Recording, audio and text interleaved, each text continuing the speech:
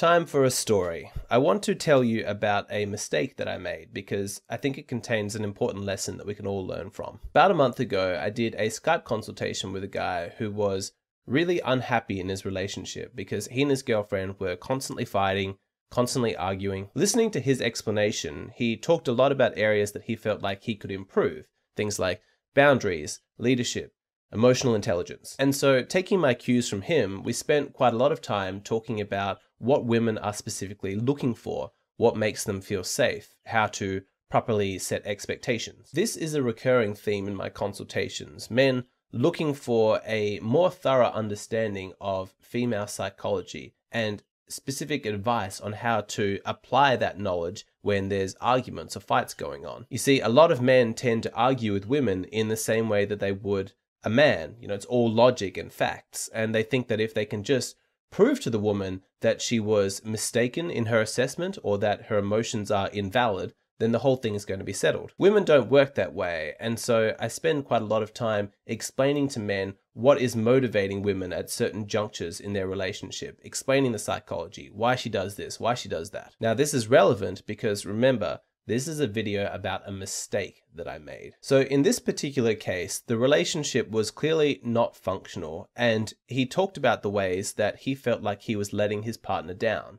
And so Naturally, the advice that I gave was tailored to that information. We talked about things that he could do to improve the situation, ways that he could be better. Now, while talking to him, I was thinking of how admirable it was that this guy was so sincere and authentic in his motivation to improve, how much he wanted to fix his relationship. He was obviously really intelligent, really good guy, had a good heart, and I admired that sincerity. He displayed something that so many people in dysfunctional relationships refuse to do, which is a willingness to take responsibility. And so we talked, and we did cover some of the ways that she was dysfunctional, some of the ways that she could improve, but Largely because he was the one actually talking to me, we talked about things that he could do to improve, things that were in his control to fix his relationship. But towards the end, he shared something that really made me stop and take notice. He said that sometimes he and his girlfriend can argue for periods up to four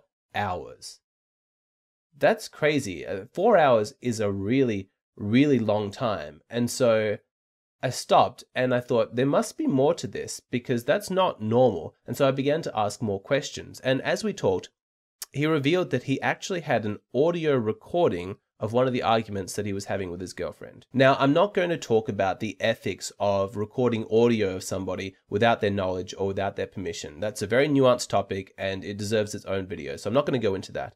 But I will share that in the consultation, we did end up listening to a small segment of that argument, and it only took a couple of minutes before I realized my mistake. It was clear from what I was hearing that this was not a regular couple just having normal disagreements and fights about things that could be explained by gender differences. That's not what was going on.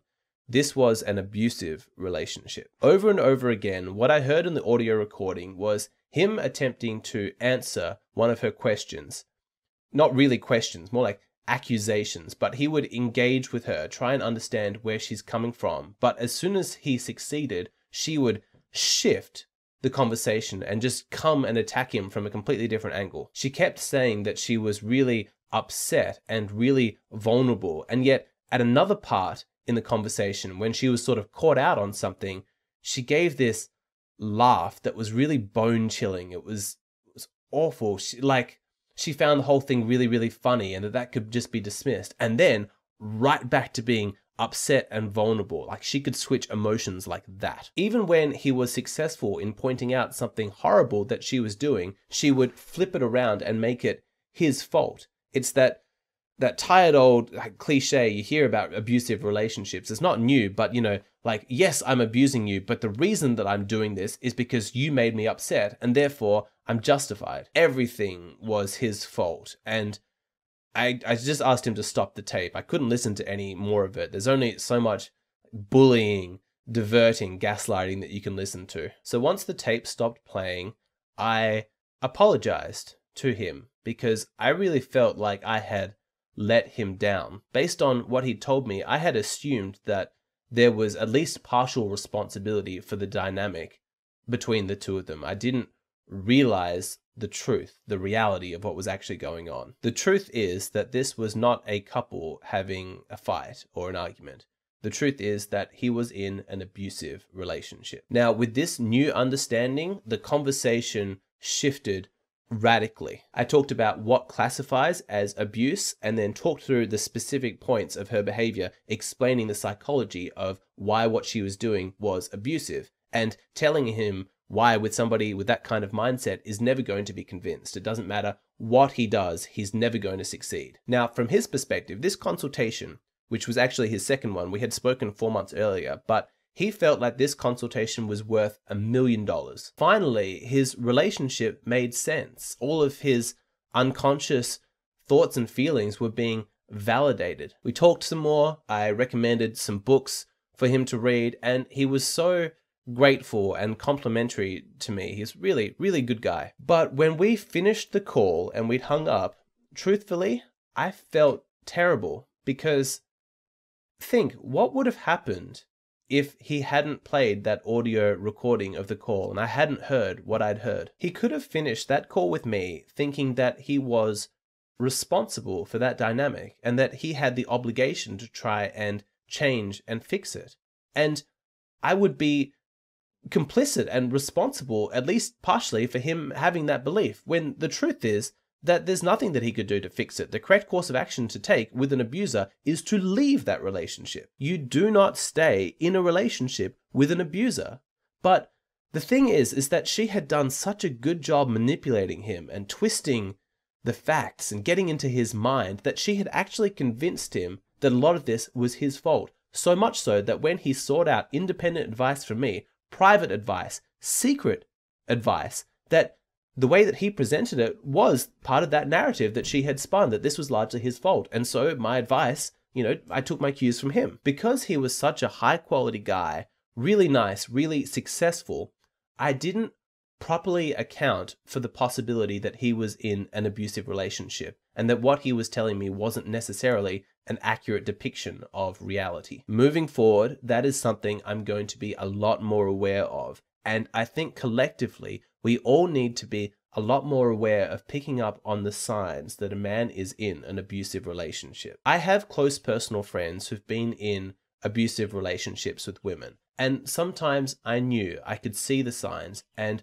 I spoke up. I'm ashamed to say that sometimes I didn't see it, and it was only after the relationship ends does the truth come out, and I start to hear stories about her behavior that makes my skin crawl. There are some awful, horrible, low quality women out there who are regularly abusing men and getting away with it. And part of my motivation with this channel is to provide information to people like my friends who might be in that kind of dynamic but don't necessarily recognize it. They don't pick up on the signs or they don't realize that this abusive behavior is not normal and that you don't have to tolerate it just because she's a woman. I really feel like I let my friends down when I didn't see the signs because had I seen something, then I could have spoken up, I could have intervened in some way. But it's difficult because men are often reluctant to speak out about female to male abuse. There can be feelings of lessened masculinity, feelings of shame, feelings of failure, and this prevents men from actually speaking out publicly or admitting to their friends, my relationship is a disaster. My partner abuses me. Do you remember in the story I was saying before about the consultation with the guy, how he told me that he and his girlfriend sometimes argue for four hours? Well, he actually admitted at the end of the conversation that he had downplayed that number, that truthfully it was more like eight hours or even more. Sometimes they go an entire day from morning to evening just arguing but he was too embarrassed, too ashamed to actually admit that to me. Imagine that. Eight hours of a woman abusing you, yelling at you, blaming you, gaslighting you, insulting you. Imagine going through all of that and not knowing that you're in an abusive relationship. Isn't that remarkable? I think it demonstrates how much society has failed us in actually educating men about what it looks like to be abused by a woman. And what's really disgusting is how collectively we have normalized low quality woman behaviors as though that's to be expected, as though it's just a regular part of being a woman and that we all need to tolerate that. As you can tell, I am a bit triggered by all of this. It makes me a bit emotional to think about all this injustice, but that's part of what motivates me to make these videos is I want to help men. And I'm so grateful that you guys watch my videos and that some of you support me on Patreon because that's what allows me to continue to put these resources out into the world and hopefully help some guy out there who's in a horrible abusive dynamic and doesn't realize it. Maybe the difference between a lifetime of misery and a lifetime of happiness is him watching a video like this. But the lesson that I took from this is that I need to be a lot more cautious. I need to go more slowly, I need to ask more questions, and I need to seriously account for the possibility that the man is not able to give me an accurate depiction of his relationship because he may be so brainwashed by his partner that he genuinely believes that what's going on is his fault. Or he might just be too ashamed to admit how bad things truly are and he'd rather keep that private. I think the larger lesson to be taken from this is that we can't keep our relationships private because that's where abuse happens. It's in the dark. It's where nobody's looking. Just look at how powerful it was to have a third party, me, listen in on a conversation that was meant to be private between the two of them. It was immediately obvious to anyone who knows anything about emotionally abusive relationships what was going on there. But he couldn't spot that because he was too close to it. I told him, based off what I've heard, I bet she does this. I bet she does this. I bet when you take this action, she always responds like this. I was correct. And of course, because it's not difficult to predict patterns of abuse. The power of abusers isn't in their originality, it's in their secrecy. So if you suspect that one of your friends is in a toxic relationship, please reach out to him. Try and get him to open up and share with you what's actually going on behind closed doors. We have this culture of individualism and independence, and that's not a bad thing, but it does have certain weak spots, which is the fact that fundamentally, from an evolutionary perspective, we are social creatures. We always lived communally. And the truth is that sometimes it takes the validation of a third party before it can motivate you to admit to yourself the truth of what's going on and then take action. And if you're in an abusive relationship, please know that you have nothing to be ashamed of. The shame belongs with her. And if you're unsure whether or not the relationship that you're in is abusive or not, then let other people see. Let them witness that dynamic so that you can get more feedback. We have to be there for each other because our society really doesn't care that much about men's issues when it comes to dating